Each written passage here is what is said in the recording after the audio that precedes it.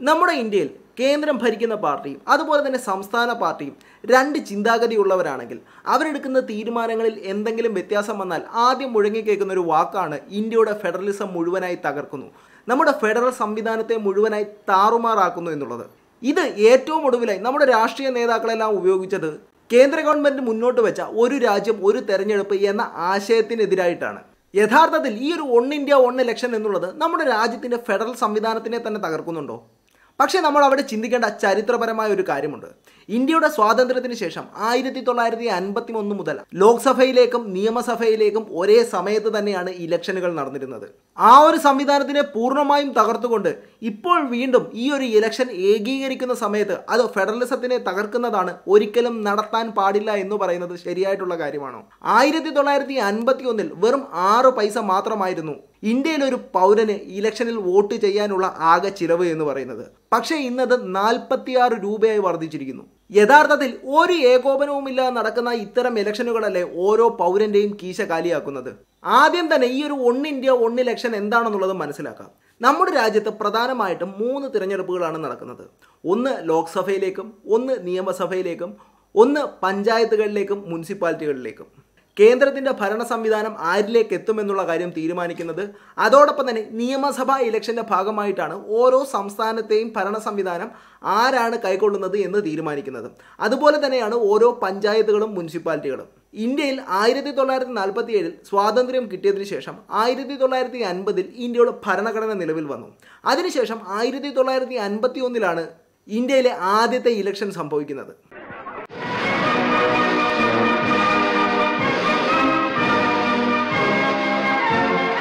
ആയിരത്തി തൊള്ളായിരത്തി അൻപത്തി ഒന്ന് മുതൽ ആയിരത്തി തൊള്ളായിരത്തി അറുപത്തി ഒൻപത് വരെ ഇന്ത്യയിലെ ഇലക്ഷൻസ് എല്ലാം ലോക്സഭാ ഇലക്ഷനും അതുപോലെ തന്നെ ഓരോ സംസ്ഥാനങ്ങളിലെ നിയമസഭാ ഇലക്ഷനുകളും ഒരുമിച്ചായിരുന്നു നടത്തിയിരുന്നത്.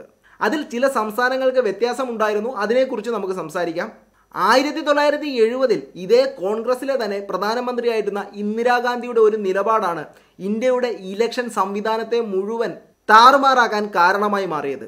അതൊരിക്കലും ഇന്ത്യയിലെ ജനങ്ങളുടെയോ അല്ലെങ്കിൽ രാജ്യത്തിന്റെ താല്പര്യത്തിനോ വേണ്ടിയായിരുന്നില്ല. ഓരോരുത്തരുടെയും പേഴ്സണലായിട്ടുള്ള ആവശ്യത്തിന് വേണ്ടി മാത്രമായിരുന്നു. സ്വതന്ത്ര ഇന്ത്യയുടെ ആദ്യത്തെ പ്രധാനമന്ത്രി എന്ന് പറയുന്നത് ജവഹർലാൽ നെഹ്റു ആയിരുന്നു. ആയിരത്തി തൊള്ളായിരത്തി അറുപതിൽ അദ്ദേഹത്തിന്റെ മരണത്തിന് ശേഷവും ആയിരത്തി തൊള്ളായിരത്തി അറുപത്തി ആറിൽ ഇന്ത്യൻ നാഷണൽ കോൺഗ്രസിന്റെ തന്നെ പ്രധാനപ്പെട്ട നേതാവായിട്ടുള്ള ലാൽ ബഹദൂർ ശാസ്ത്രിയുടെ മരണത്തിന് ശേഷം ഈ ഒരു രാഷ്ട്രീയ പാർട്ടിയിൽ വളരെയധികം പ്രശ്നങ്ങൾ ഉണ്ടായി അതിനുശേഷമാണ് ഇന്ദിരാഗാന്ധി ഇന്ത്യയുടെ പ്രധാനമന്ത്രിയെ അധികാരത്തിലേക്ക് എത്തുന്നത് ഈ ഒരു അധികാരത്തിലേക്ക് എത്തുന്നതും ഇന്ത്യൻ നാഷണൽ കോൺഗ്രസ് എന്ന് പറയുന്ന രാഷ്ട്രീയ പാർട്ടിയുടെ പൂർണമായ പിന്തുണയോടുകൂടി ആയിരുന്നില്ല. ഈ ഒരു പാർട്ടിയെ പൂർണമായും നയിച്ചിരുന്നത് ഒരു അൺഒഫീഷ്യൽ ഗ്രൂപ്പായിരുന്നു വേണമെങ്കിൽ നമുക്ക് സിൻഡിക്കേറ്റ് എന്നൊക്കെ പറയാം. ഈ ഒരു പവർഫുള്ളായ സിൻഡിക്കേറ്റിന്റെ പൂർണമായ താല്പര്യപ്രകാരമാണ് ഇന്ദിരാഗാന്ധി അധികാരത്തിലേക്ക് എത്തുന്നത്. ഈ ഒരു അധികാരത്തിലേക്ക് എത്തുന്ന സമയത്ത് നമുക്കറിയാം രാഷ്ട്രീയ പാർട്ടികളിൽ നിരവധിയായിട്ടുള്ള നേതാക്കന്മാരുണ്ടായിരിക്കും. അവരുടെ എല്ലാം നോട്ടം എന്ന് പറയുന്നത് അധികാര കസേര തന്നെയായിരിക്കും. അതുപോലെ തന്നെ ഇന്ദിരാഗാന്ധി മാത്രമായിരുന്നില്ല ആ ഒരു പ്രധാനമന്ത്രി കസേരയ്ക്ക് വേണ്ടി നോക്കിയിരുന്നത്. കോൺഗ്രസിന്റെ തന്നെ മറ്റൊരു നേതാവായ മൊറാർജി ദേശായും ഈ ഒരു പ്രധാനമന്ത്രി കസേര പ്രതീക്ഷിച്ചിരുന്നു. പക്ഷേ ആ ഒരു പവർഫുൾ ആയിട്ടുള്ള സിൻഡിക്കേറ്റിന്റെ താല്പര്യത്തിന് വഴങ്ങി പ്രധാനമന്ത്രിയായി ഇന്ദിരാഗാന്ധി തന്നെ അധികാരത്തിലേറ്റു. ഈ ഒരു അൺഒഫീഷ്യൽ ഗ്രൂപ്പ് അല്ലെങ്കിൽ പവർഫുൾ സിൻഡിക്കേറ്റ് എന്ന് പറഞ്ഞു കഴിഞ്ഞാൽ കോൺഗ്രസിന്റെ തന്നെ ഏറ്റവും പ്രധാനപ്പെട്ട നേതാക്കളായിരുന്നു അതിലുണ്ടായിരുന്നത്.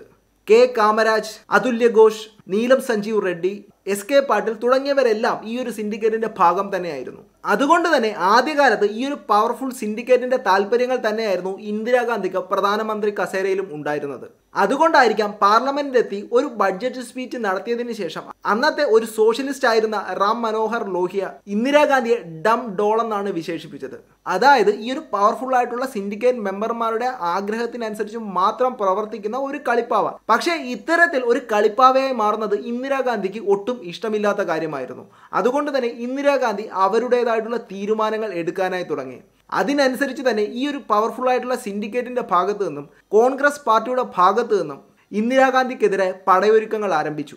അതുകൊണ്ട് തന്നെ ഈ ഒരു കോൺഗ്രസ് എന്ന് പറയുന്ന രാഷ്ട്രീയ പാർട്ടിയിലും ഇന്ത്യയുടെ രാഷ്ട്രീയ ചരിത്രത്തിലും തന്റെതായിട്ടുള്ള ഒരു വേരുറപ്പിക്കാൻ വേണ്ടി ഇന്ദിരാഗാന്ധി പാർട്ടിയുടെ തന്നെ മുഖമായി തന്നെ മാറുന്നുണ്ടായിരുന്നു.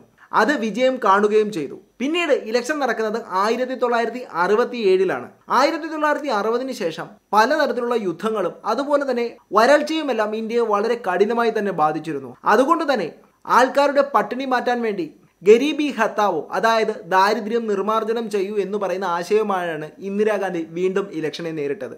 പക്ഷേ അധികാരത്തിൽ എത്തിയതിനു ശേഷം എടുത്ത ചില തീരുമാനങ്ങൾ ഈ ഒരു സിൻഡിക്കേറ്റ് മെമ്പേഴ്സിന്റെ ആഗ്രഹത്തിന് എതിരായിരുന്നു. ബാങ്ക് പ്രൈവറ്റൈസേഷൻ ആയാലും അല്ലെങ്കിൽ പ്രിവി പെർസീവ് ആയാലും ഇന്ദിരാഗാന്ധിയുടെ ഇത്തരം നിലപാടുകൾക്കെല്ലാം ആ സിൻഡിക്കേറ്റ് എതിര് തന്നെയായിരുന്നു. അതിന്റെ ഭാഗമായി ആയിരത്തി തൊള്ളായിരത്തി അറുപത്തി ഒമ്പതിൽ ഇന്ദിരാഗാന്ധിയെ ഈ ഒരു ഇന്ത്യൻ നാഷണൽ കോൺഗ്രസ് എന്ന് പറയുന്ന രാഷ്ട്രീയ പാർട്ടിയിൽ നിന്നും പുറത്താക്കുകയും ചെയ്തു. ഇന്ദിരാഗാന്ധിയെ വീണ്ടും ഈ ഒരു പഴയ കോൺഗ്രസ് പാർട്ടിയിലേക്ക് തിരിച്ചെടുക്കാനോ അല്ലെങ്കിൽ വീണ്ടും ഭരണ സംവിധാനത്തിന്റെ ഭാഗമാക്കാനോ സിൻഡിക്കേറ്റ് മെമ്പേഴ്സുമാരും അതുപോലെ തന്നെ അന്നത്തെ പ്രധാനപ്പെട്ട കോൺഗ്രസിന്റെ ലീഡേഴ്സ് ആരും തന്നെ തയ്യാറായിരുന്നില്ല. അതുകൊണ്ട് തന്നെ ഇന്ദിരാഗാന്ധി അവിടെ നിന്നും പുതിയ രാഷ്ട്രീയ പാർട്ടി രൂപീകരിക്കുകയാണ്.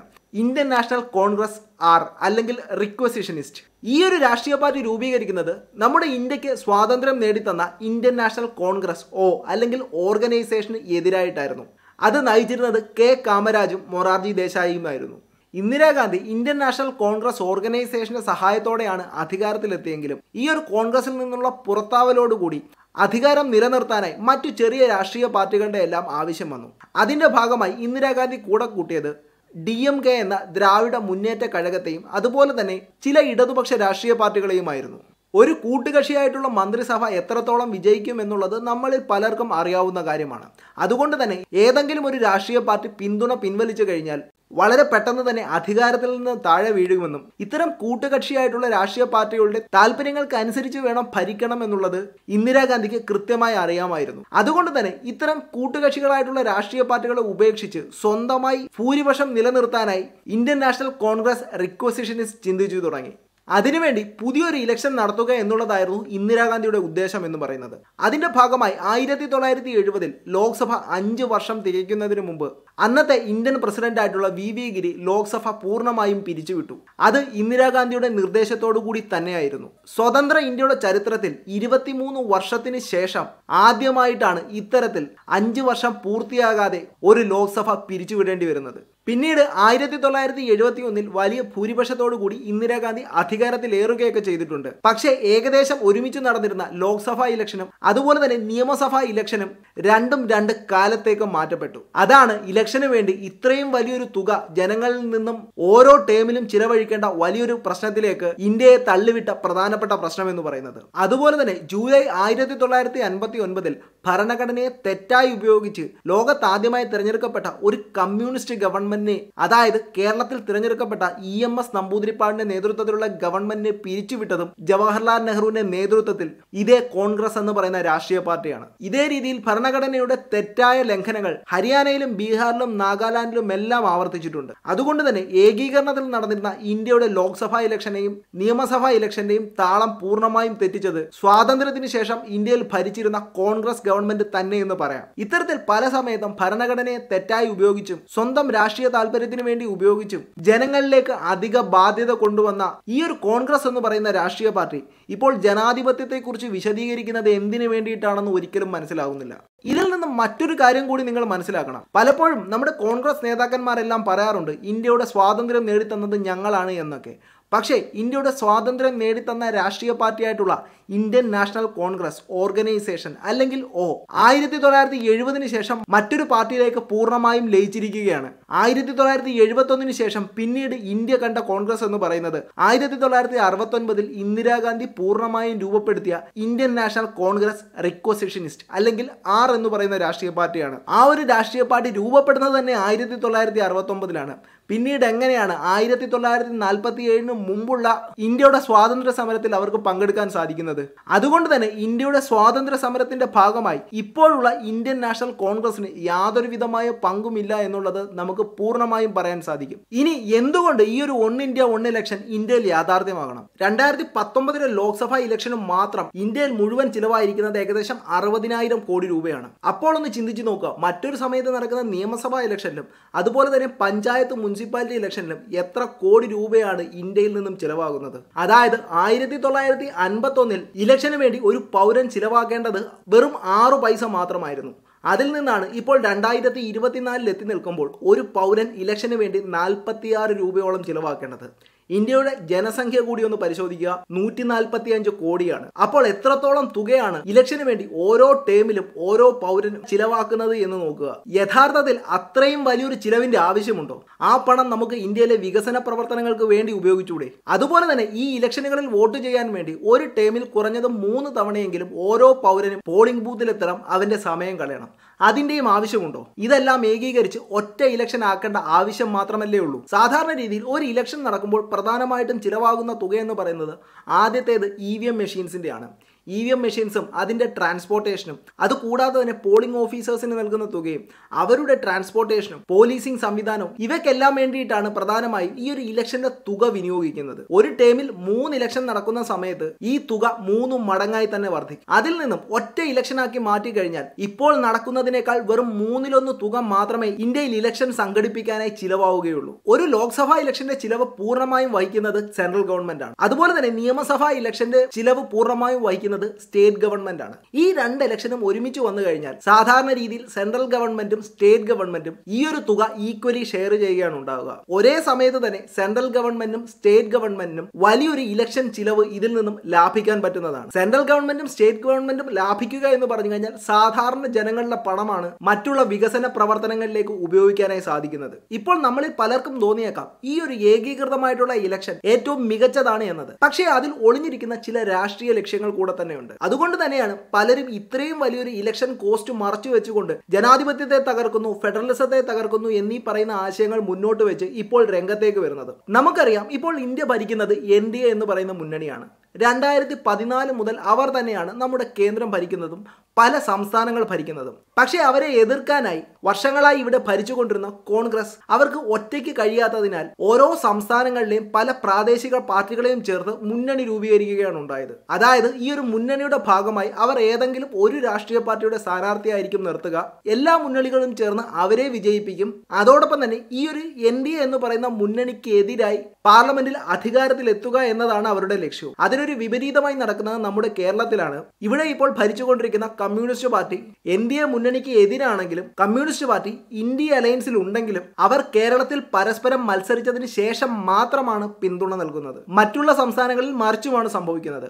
അതുകൊണ്ട് തന്നെ ഈ ഒരു വൺ ഇന്ത്യ വൺ ഇലക്ഷൻ വന്നു കഴിഞ്ഞാൽ ഓരോ സംസ്ഥാനത്തിലെ പ്രാദേശിക പാർട്ടിക്കും മുന്നണി എന്ന് പറയുന്ന സംവിധാനം ഇല്ലാതെ തന്നെ മത്സരിക്കേണ്ടി വരും. ലോക്സഭാ ഇലക്ഷൻ നിയമസഭാ ഇലക്ഷൻ പഞ്ചായത്ത് മുനിസിപ്പാലിറ്റി ഇലക്ഷൻ ഇവയെല്ലാം ഒരുമിച്ചാണ് നടക്കുന്നത്. ആ ഒരു സമയത്ത് ഏതെങ്കിലും മുന്നണിയുടെ ഭാഗമായി നിന്ന് മത്സരിച്ചു കഴിഞ്ഞാൽ മുന്നണിയുടെ ഭാഗത്ത് നിന്നും ഏത് രാഷ്ട്രീയ പാർട്ടിയുടെ സ്ഥാനാർത്ഥിയാണോ മത്സരിക്കുന്നത് അവർക്ക് മാത്രമേ ആ ഒരു സംസ്ഥാനത്ത് പ്രസക്തി ഉണ്ടാവുകയുള്ളൂ. മറ്റുള്ള രാഷ്ട്രീയ പാർട്ടികളുടെ എല്ലാം പ്രസക്തി അതോടുകൂടി നഷ്ടപ്പെടും. അതൊരിക്കലും ഒരു രാഷ്ട്രീയ പാർട്ടിയും അംഗീകരിക്കുന്നതല്ല. അതോടുകൂടി ഈ ഒരു മുന്നണി സംവിധാനത്തിലല്ലാതെ മത്സരിക്കാൻ വേണ്ടി ഓരോ രാഷ്ട്രീയ പാർട്ടിയും തയ്യാറാവും. ഇത്തരത്തിൽ ഓരോ പ്രാദേശികമായിട്ടുള്ള പാർട്ടികളും മത്സരിക്കുന്നതാണ് എൻ ഡി എ എന്ന് പറയുന്ന കേന്ദ്രത്തിൽ ഭരണത്തിലിരിക്കുന്ന രാഷ്ട്രീയ പാർട്ടിക്കും ആവശ്യമായുള്ളത്. അവരുടെ ആവശ്യം എന്ന് പറയുന്നത് കോൺഗ്രസ് മുക്ത ഭാരതം എന്നതാണ്. അതായത് ഈ ഒരു മുന്നണി സംവിധാനം പൂർണമായും തകർന്നു കഴിഞ്ഞാൽ കോൺഗ്രസ് അതോടുകൂടി അപ്രസക്തമാകും എന്നുള്ളത് എൻ ഡി എക്ക് കൃത്യമായിട്ടും അറിവുള്ള കാര്യമാണ്. അതുകൊണ്ട് തന്നെയാണ് വൺ ഇന്ത്യ വൺ ഇലക്ഷന് വേണ്ടി ഈ ഒരു എൻ ഡി എ ഗവൺമെന്റ് കൂടുതലായും ഊന്നൽ നൽകുന്നത്. ഇന്ത്യയുടെ ഭരണഘടന പ്രകാരം ലോക്സഭയുടെ ആയിക്കോട്ടെ അല്ലെങ്കിൽ നിയമസഭയുടെ ആയിക്കോട്ടെ കാലാവധി എന്ന് പറയുന്നത് അഞ്ച് വർഷമാണ്. പക്ഷേ ഇവിടെ ഒരു വൺ ഇന്ത്യ വൺ ഇലക്ഷൻ വരുന്ന സമയത്ത് ഏതെങ്കിലും ഒരു പ്രത്യേക വർഷം തിരഞ്ഞെടുപ്പ് വർഷമായി തീരുമാനിച്ചു കഴിഞ്ഞാൽ ചില സംസ്ഥാനങ്ങളുടെയോ വേണമെങ്കിൽ ലോക്സഭയുടെ കാലാവധി കുറഞ്ഞേക്കാം. അതാണ് ഇന്ത്യയുടെ ഫെഡറലിസം തകർക്കുന്നു എന്ന രീതിയിൽ പല രാഷ്ട്രീയ പാർട്ടികളും മുന്നോട്ട് വയ്ക്കുന്നത്. പക്ഷെ അവരോടെല്ലാം പറയാനുള്ള മറുപടി എന്ന് പറയുന്നത് ഇന്ത്യയിലെ ജനങ്ങൾക്ക് ആർക്ക് വോട്ട് ചെയ്യണമെന്ന് കൃത്യമായി അറിയാം. അതിനനുസരിച്ചിട്ടാണ് ഓരോ രാഷ്ട്രീയ പാർട്ടിയും ഇവിടെ വിജയത്തിലേക്ക് എത്തുന്നത്. അത് വിജയത്തിലേക്ക് എത്തുന്ന രാഷ്ട്രീയ പാർട്ടി മാത്രമല്ല ഇപ്പോൾ തോൽക്കുന്ന പാർട്ടി ആയാലും അവരുടെ വോട്ടിംഗ് പെർസെന്റേജ് കണ്ടു കഴിഞ്ഞാൽ എത്രത്തോളം ആൾക്കാർ ഓരോ രാഷ്ട്രീയ പാർട്ടികളെയും സപ്പോർട്ട് ചെയ്യുന്നുണ്ട് എന്നുള്ള കാര്യം നിങ്ങൾക്ക് മനസ്സിലാക്കാൻ സാധിക്കും. ഇവിടെ ഒൺ ഇന്ത്യ ഒൺ ഇലക്ഷനെ സപ്പോർട്ട് ചെയ്യുന്ന രാഷ്ട്രീയ പാർട്ടികളാണെങ്കിലും അല്ലെങ്കിൽ അതിനെ എതിർക്കുന്ന രാഷ്ട്രീയ പാർട്ടികളാണെങ്കിലും അവരുടെ താല്പര്യം ജനങ്ങളെ സംരക്ഷിക്കുക അവരുടെ നികുതി പണം സംരക്ഷിക്കുക എന്നത് മാത്രമല്ല അവരുടെ അധികാരം നിലനിർത്തുക എന്നുള്ളതാണ്. അല്ലെങ്കിൽ അധികാരത്തിലേക്ക് എത്തുക എന്നുള്ളതാണ്. അതിനുവേണ്ടി ജനങ്ങളുടെ ഇത്രത്തോളം പണം ഇലക്ഷന് വേണ്ടി ചിലവഴിക്കണം എന്ന് പറയുന്നത് എത്രത്തോളം ശരിയാണ് എന്നുള്ള കാര്യം എല്ലാവരും ചിന്തിക്കുന്നത് നല്ലതാണ്. തീർച്ചയായിട്ടും ഒരു രാജ്യം ഒരു തെരഞ്ഞെടുപ്പ് എന്നുള്ളത് സ്വാഗതാർഹമായിട്ടുള്ള കാര്യമാണ്. സാധാരണക്കാരായ ജനങ്ങളുടെ നികുതി പണം എന്ന് പറയുന്നത് പാഴായി പോകേണ്ട ഒന്നല്ല. ഇവിടുത്തെ ഓരോ പൗരനും കൃത്യമായി അറിയാം എങ്ങനെയാണ് ജനാധിപത്യം സംരക്ഷിക്കേണ്ടതെന്നും അതിലൂടെ അർഹരായവരെ അധികാരത്തിലേക്ക് എത്തിക്കേണ്ടതെന്നും.